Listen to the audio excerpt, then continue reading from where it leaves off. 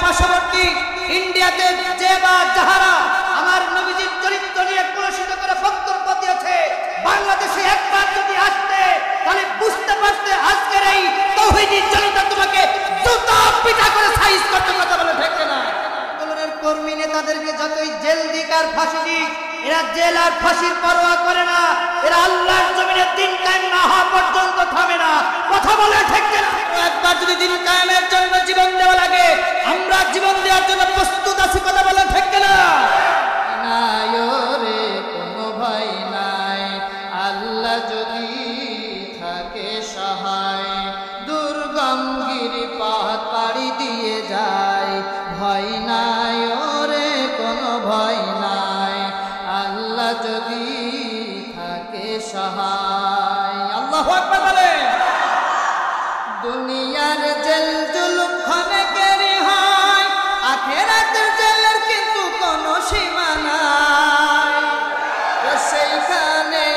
সবাই মুক্তি পেতে চাই ভয় নাই ওরে, কোনো ভয় নাই।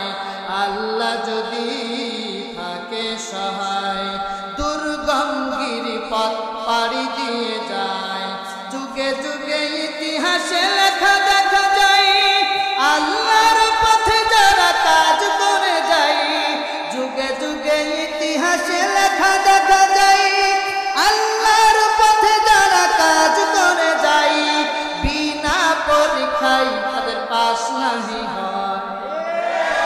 জোরে বলেন জোরে বলেন।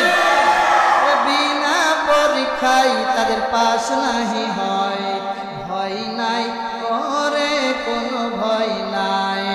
আল্লাহ যদি থাকে সহায়, দুর্গম গিরিপথ পাড়ি দিয়ে যায়। তাকবীর।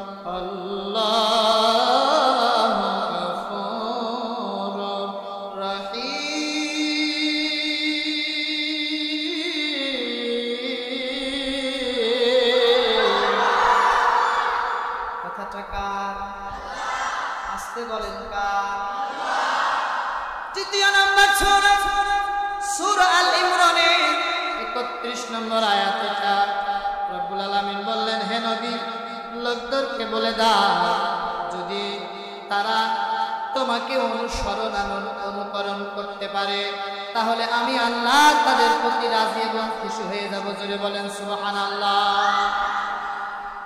আমরা এখানে অনেকেই বলি, রাসূলকে ভালোবাসলে আল্লাহকে ভালোবাসা হয়। কিন্তু না না না, এখানে আল্লাহ যে শব্দটা ব্যবহার করেছেন পাত্তা বেহনি যেটাকে বলা হয় ইত্তেবা। ইত্তেবা হলো অনুসরণ আর অনুকরণ। বিশ্বনবীজি যেই কাজ যেইভাবে করেছে, হুবহু সেই কাজ সেইভাবে করা এবং যেইগুলো বাদ দিয়েছে সেইগুলো বর্জন করা, ইত্তেবা করা, অনুসরণ আর অনুকরণ করলে আল্লাহ বললেন আমি তাদেরকে আমি আল্লাহ নিজে ভালোবাসবো। সুবহানাল্লাহ বলেন। শুধু এখানে শেষ নয়, আমি আল্লাহ তাদের জীবনের সমস্ত গুণাসমূহ মাফ করে দেব। যেই নেতা, যেই নবী আদর্শ মরে যাকে অনুসরণ অনুকরণ করলে আমাদের সরাসরি ভালোবাসবেন আল্লাহ এবং জীবনের গুণা মাফ করে দিবেন। একবার জোরে বলা যাবে না সুহান আল্লাহ এখন সেই নবীজির জীবনী নিয়ে আজকের সিরাতুল নবী মাহফিল। আমি তার আগে আরেকটা বিষয় ক্লিয়ার করতে চাই। আজকে এই রবিল আওয়াল মাস আসলেই যেহেতু রবিল আওয়াল মাস শেষ, মাস আসলেই দেখবেন বাংলাদেশের দুইটা গ্রুপ বের হয় কয়টা গ্রুপ একটা বলে আমরা মিলাদুল নবী আর একটা বলে আমরা সিরাতুল নবী, মারামারি আসে না যেহেতু আজকে সিরাতুল নবী, আমি সংক্ষিপ্ত ক্লিয়ার করে সামনের দিকে এগিয়ে যাচ্ছি। আচ্ছা আপনারা কোন দিকে আছে বলেন তো মিলাদুল নবী না সিরাতুল নবী? মিলাদুল নবী কেউ নেই? কেউ নেই? না, আমি দুইটাই আছি। কেন? কেন যারা শুধু মিলাদুল নবী মানে সিরাতুল নবী মানে না, আমি তাদের জন্য বলছি। মিলাদ মানে জন্ম। আর নুন বা ইয়া নাবি অর্থ সমস্ত নবীকেই বোঝাবে। যদি নুন বা ইয়ার আগে আলিফলাম যুক্ত হয় নির্দিষ্ট করে, শুধু আমাদের নবীকেই বোঝাবে। সুবহানাল্লাহ বলেন। তাহলে মিলাদুন নবী, আমাদের নবীর জন্ম বৃত্তান্ত আলোচনা। আচ্ছা নবীজির যদি জন্মই না হয়, তো সিরাত জীবনী পাবো কোন থেকে? কথা বলেন তো ঠিক কিনা? এরপরে আসেন সিরাতুন নবী। সিরাত মানে জীবনী নিয়ে আলোচনা। আন্নাবি এখানে আলিফলাম যুক্ত হয়েছে আমাদের নবীজির জীবনী নিয়ে আলোচনা। তাহলে সিরাতুন নবী, তাহলে মিলাদুন নবী যুক্ত সংযুক্ত সিরাতুন নবীর মধ্যেই রয়েছে আমাদের কল্যাণ এবং সফলতা। একটু জোরে বলবেন না, সুবহানাল্লাহ? কিন্তু এখানে বুঝার বিষয় হচ্ছে মিলাদুন নবী আলোচনা করার বিষয়, আর সিরাতুন নবী আলোচনার সাথে আমলের বিষয়। আল্লাহু আকবার বলবেন না? আমি এখনই ক্লিয়ার করলে আপনারা বুঝবান সকলে বুঝে ফেলবেন। নবীজির জীবনী থেকে যদি মূল শিক্ষার আলোকে আমি যে আয়াত তেলাওয়াত করেছি, এখান থেকে মেসেজ দিতে হলে, নবীজির জীবনী বুঝতে হলে, নবীজির তেষট্টি বছর হায়াতের জিন্দগিটা যথাযথ আমাদেরকে স্টাডি করতে হবে। আমি যদি বলি যে রবিল আওয়াল মাসে নবীজির জীবনী নিয়ে আলোচনা করলাম, শুনলাম, কয় পৃষ্ঠা নবীজির জীবনী নিয়ে আপনি কিতাব পড়েছেন? একটু বলুন তো, কয়টা বই পড়েছেন? বলুন দেখা যাবে যে আমরা অনেকেই শুধু শুনেই জিলেপি খেয়ে পার করছি। এরকম আছে না নাই? এই পড়া স্টাডি করা খুব কম। আমি আপনাদের সহজের জন্য বলছি, নবীজির জীবনী থেকে মূল শিক্ষা নিতে হলে নবীজির জীবনীটাকে তিন ভাগে ভাগ করতে হবে। একটু জোরে বলুন তো, কয় ভাগে? আমার দিকে তাকে বলুন কয় ভাগে? একটা হচ্ছে কফলান নবুয়াত নবুয়াতের আগের চল্লিশ বছর। নবুয়াত তো চল্লিশ বছর, তার মানে জন্ম থেকে চল্লিশ বছর কফলান নবুয়াত নবুয়াতের চল্লিশ বছর। এই চল্লিশ বছর আছে নবীর আলোচনা। শুধু আলোচনার বিষয়, এখানে আমলের কোনো বিষয় নেই। আল্লাহ আকবার বলেন এরপরে আসছে পরে মাক্কি জিন্দিগিতে তেরো বছর। মাক্কি জিন্দিগিতে কয় বছর? জোরে বলেন। ভাই, নবীজির জীবনী থেকে যদি এক পৃষ্ঠা পড়েন আর আজকের আলোচনা শুনে একটু আমল করেন, আমি সাক্ষী আমি সাক্ষী রেখে গেলাম, সাক্ষী দিয়ে বলে গেলাম, সাক্ষ্য রেখে গেলাম। যে নবীজির জীবনী যদি আপনারা যথাযথভাবে আজকে শুনে আমল করতে পারেন, আজকের এই মাহফিল হতে পারে আমাদের জীবন পরিবর্তনের মাহফিল। আল্লাহ বলবেন না। দুনিয়ার কোন মানুষের জীবনীতে আমাদের জীবন পরিবর্তন হবে না একমাত্র নবী। এই জন্য আমি সংক্ষিপ্ত আপনাদের সহজের জন্য, মাক্কি জিন্দগি তেরো বছর, এরপরে মাদানি জিন্দগি দশ বছর, এই হচ্ছে তেইশ মানে কবলান নবুয়া চল্লিশ আর তেইশ, মোট কত বছর? জোরে বলুন। তেষট্টি, এই হচ্ছে নবীজির তেষট্টি বছরের জিন্দিগি। এখন আসুন, আমি যে আয়াত তেলাবাদ করেছি, আল্লাহ নবীজির জীবনীতে সর্বোত্তম আদর্শ সে আদর্শটা কি? আমাদেরকে জানার দরকার আছে না নাই? গোটা সিরাত মাসে আলোচনা হয়েছে। আমি আজকে উত্তম না, সর্বোত্তম আদর্শটা আপনাদেরকে জানাতে এসেছি। এখন সেই সর্বোত্তম আদর্শটা আপনারা কি জানতে রাজি আছেন ইনশাল্লাহ এখন সর্বোত্তম আদর্শ জানাতে যে যদি কারোর ঘায়ের উপর দিয়ে যায় দরকার আছে না নাই? কারণ নেতার উপর দিয়ে গেলে বলার দরকার আছে না নাই? কোন দলের উপর দিয়ে গেলেও বলার দরকার আছে না নাই? জোরে বলেন, আছে না নাই? আমরা এই কথা বলেই যাব যতক্ষণ আমাদের দেহে জীবন আছে। কথা বলেন ঠিক কিনা? সম্মানিত উপস্থিতি, এখন আসুন। সেই নবীজির জীবনীতে সর্বোত্তম আদর্শটা কি? আমাদেরকে একটু জানতে হবে। কারণ যদি কোনো মানুষের জীবনী নিয়ে অ্যানালাইসিস করতে হয়, গবেষণা করতে হয়, তাহলে সেই মানুষের চরিত্র সম্পর্কে জানতে হয়। আচ্ছা বলুন তো, আমার আপনার নবীর জীবনের চরিত্রের ব্যাপারে গ্যারান্টি কি দুনিয়ার মানুষের না আমার সরাসরি আল্লাহ জোরে বলুন না কার? আর একটু সবাই বলুন না কার? এই কথাটা কোরআন কারিমের ভিতরে আল্লাহ কোট করে জানিয়েছে। রব্বুল আমিন বলেন, ওয়া ইন্নাকা লাআলা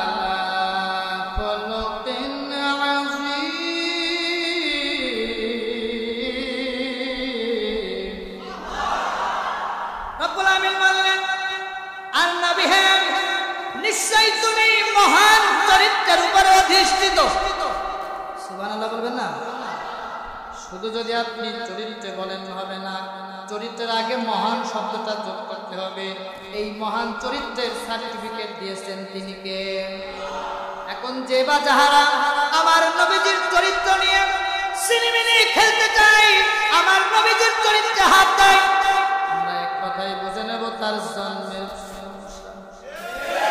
জোরে বলেন, জোরে হাত যারা অপমানিত লাঞ্ছিত হয়েছে, তারা জুতা পিঠা খেয়েছে, তারা কথা বলে ঠিক কিনা বর্তমান সময়ে পার্শ্ববর্তী ইন্ডিয়াতে যে বা যাহারা আমার নবীজির চরিত্র নিয়ে কলুষিত করে বক্তব্য দিয়েছে, বাংলাদেশে একবার যদি আসতে, তাহলে বুঝতে পারতে আজকের এই তৌহিদি জনতা তোমাকে জুতা পিঠা করে সাইজ করতে কথা বলে ঠিক না। কারণ আমার নবীজিকে আমরা জীবনের চাইতে ভালোবাসি, কথা বলে ঠিক না। যে নবীজির চরিত্রের ব্যাপারে গ্যারান্টি দিয়েছেন আল্লাহ, সেই জায়গায় হাত দিলে তা কারও থাকবে না, কারও না। কথা বলে আল্লাহ বলেন, আমি ধরি না ধরি না ধরি না। যখন ধরি, তখন আর ছাড়ি না। এমন ভাবে আউট করে দিই, আর কোনোদিন ময়দানে আসতে পারবে না। কথা বলে ঠিক না আল্লাহ যখন ধরে, তখন আর কেউ রক্ষা করতে পারে কথা বলেন ঠিক আমরা তো মনে করছিলাম, আল্লাহ এই আমাবস্যে যে রাত এর প্রভাব তো আর হবে না আমরা অনেকে আশা হারিয়ে শুধুমাত্র দোয়াই শরীর সামিল ছিলাম আল্লাহ আমাদের অজান্তে এই আকাশটা ফেরাউন মুক্ত আকাশ করে দিয়েছে আল্লাহু আকবার বলবেন না সম্মানিত উপস্থিতি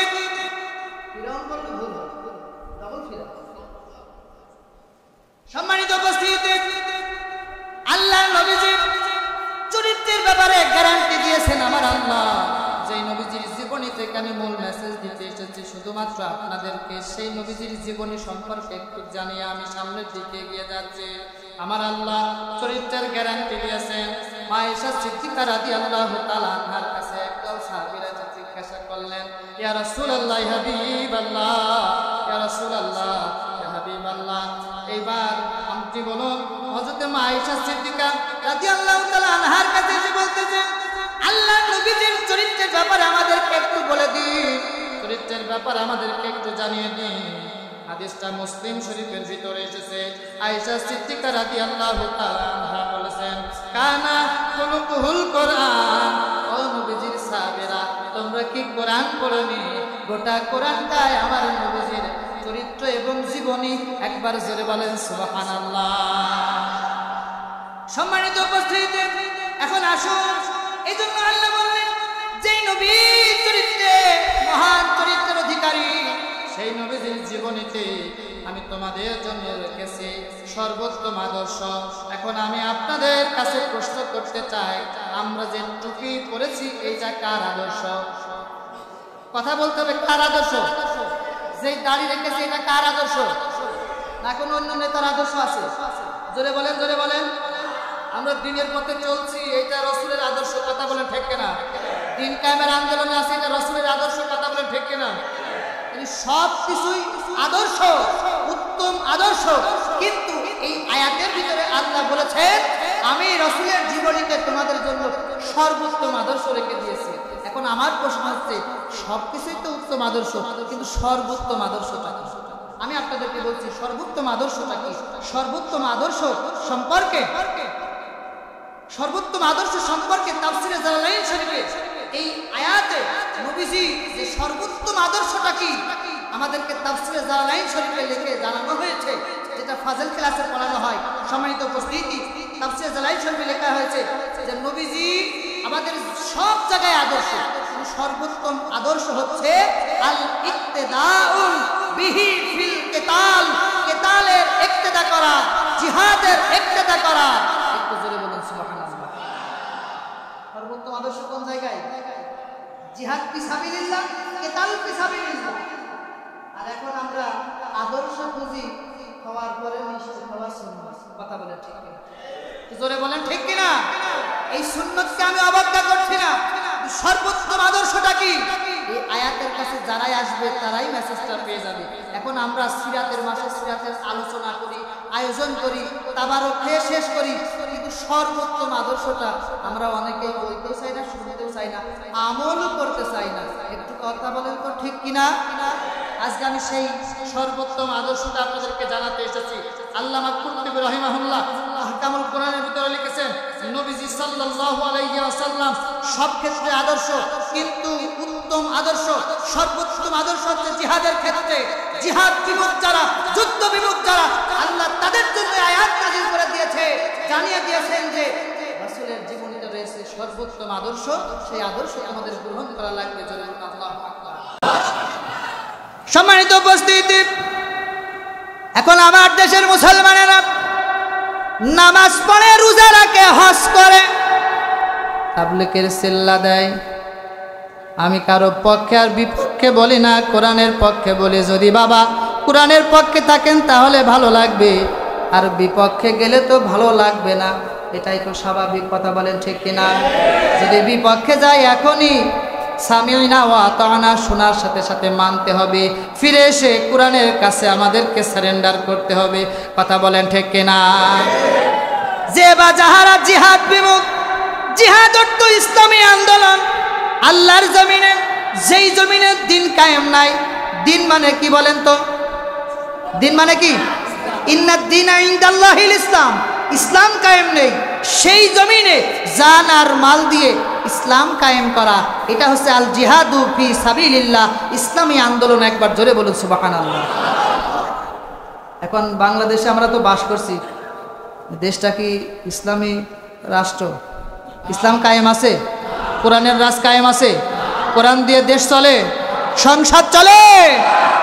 তাহলে এই জমিনে কোরআনের রাজ কায়েম না হওয়া পর্যন্ত সর্বোত্তম আদর্শ হচ্ছে জান আর মাল দিয়ে এই জমিনে দিন কায়েমের আন্দোলন করা কথা বলেন ঠিক কিনা সিরাত মাহফিল যতই করেন, যতই শোনেন যত আয়োজন করেন বিশ্বনবীজির জীবনী থেকে যদি মূল শিক্ষা না নিতে পারেন, এই সিরাত মাহফিল করা আর না করা, শোনার না শোনা সমান কথা বলেন ঠিক? সম্মানিত উপস্থিতি, এখন অনেক মানুষ জিহাদের কথা শুনলে পিলে চমকিয়ে যায় নামাজ পড়ে রোজা রাখে, হজ করে জাকাত দেয়।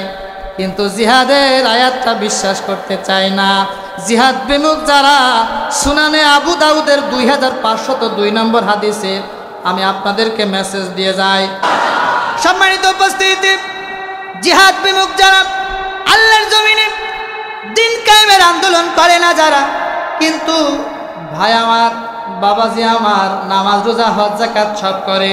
ইসলামের অন্যান্য বিধান মেনে চলে, কিন্তু জানমাল দিয়ে দিন কায়েমের আন্দোলন করে না। তাদের জন্য আমি আজকে সাবধানতা, সতর্কতা জারি দিয়ে রেড সিগন্যাল দিয়ে জানিয়ে দিতে চাই।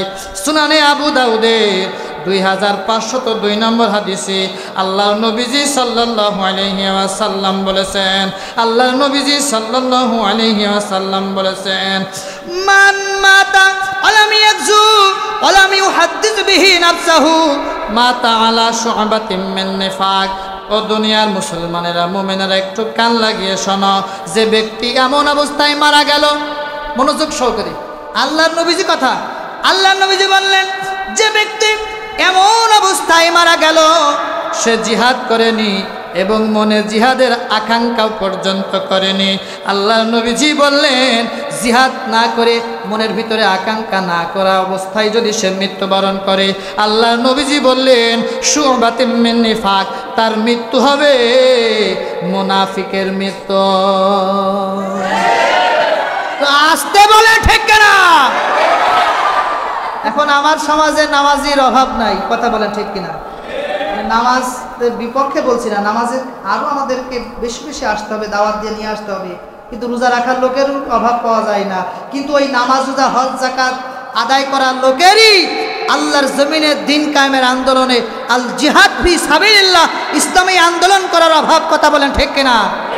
যদি না করেন আর মনের ভিতরে আশা না থাকে, আল্লাহর নবীজি তিরমিজির ভাষায় বলেছেন, সুবাতিম মিন নিফাক, তার মৃত্যু হবে মুনাফিকের হালতে। এই কথাটা কেউ কেটে দিতে পারবে? কেউ বাদ দিতে পারবে? এখন প্রশ্ন আসতে পারে, তাহলে তার নামাজ রোজা, হজ জাকাত কোথায় যাবে?